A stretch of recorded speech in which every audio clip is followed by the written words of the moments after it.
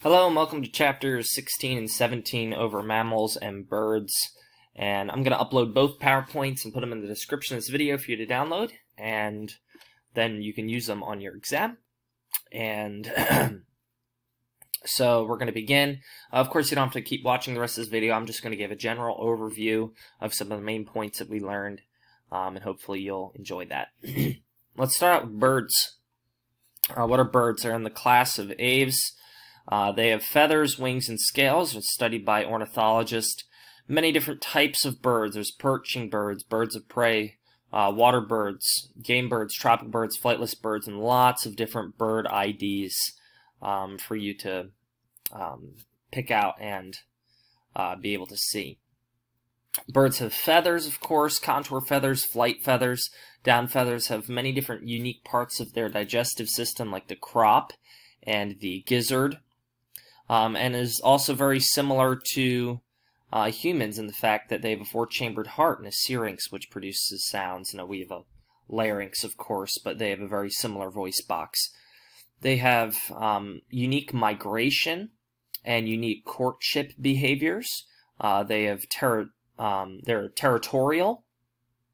Um, they lay eggs, of course, and uh, that's quite different from us and uh, those eggs have different uh, spots within them, and they also incubate those eggs. Some birds are born altricial, naked and helpless, they need constant care. Some are born precocial, uh, particularly uh, water birds are born, they just walk right um, out of the egg and start swimming.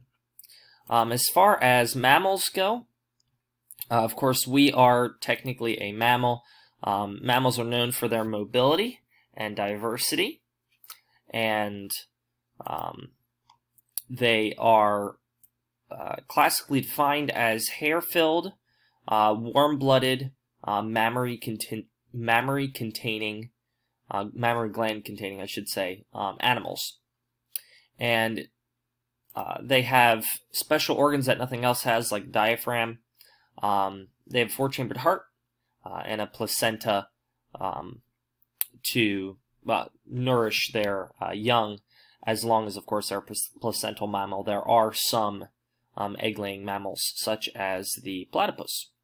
Lots of different mammalian orders, uh, from uh, Sirenia to Monotremata to uh, marsupials.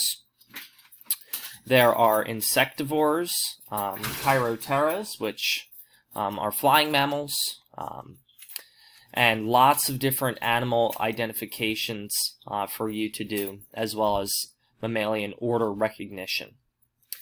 And uh, that's where we end off uh, mammals, of course. Uh, there are some random terms uh, there to know at the end, like endangered and extinct and bovids and whatnot. Um, but I hope you have a great day and happy studying biology class. I will see you guys sometime later.